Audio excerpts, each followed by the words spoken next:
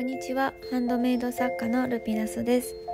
今回はマグネットジェルを使って宇宙のような奥行きニュアンスを簡単に作っていきたいと思います。それではどうぞ。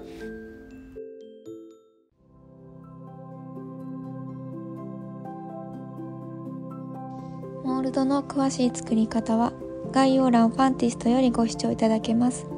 ぜひそちらも参考にしてみてください。回はラウンド型で作っていきます。余白を残してマグネットジェルを広げていきます。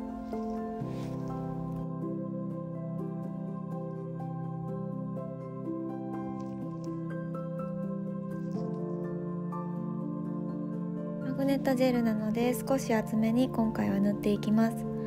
ラメが均等になるように調整をしておきます。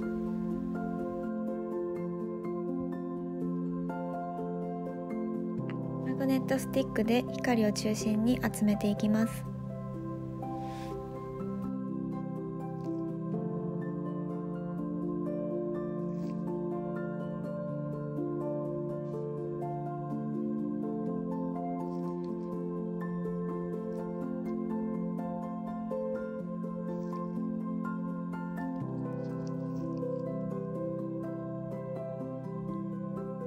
調整を繰り返して光のラインを整えていきます。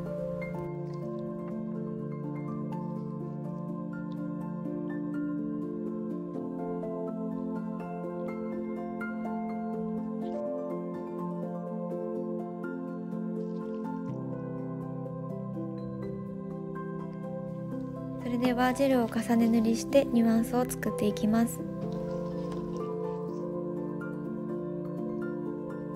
今回ジェルは薄めに塗っていきます。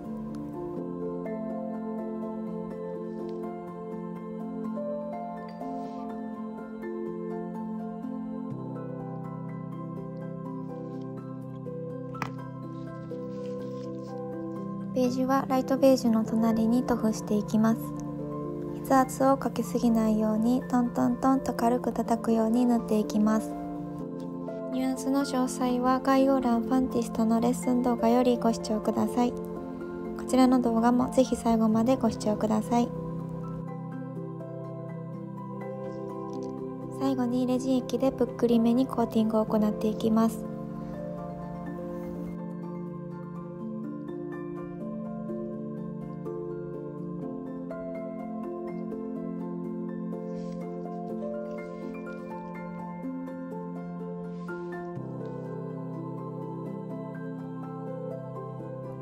2色とも出来上がりました。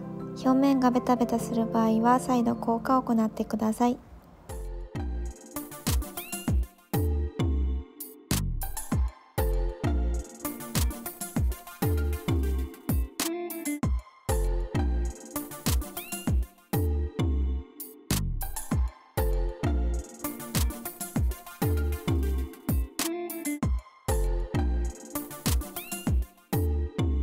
金具の付け方は概要欄ファンテストよりご視聴いただけます。ぜひそちらも参考にしてみてください。最後までご視聴いただきどうもありがとうございました。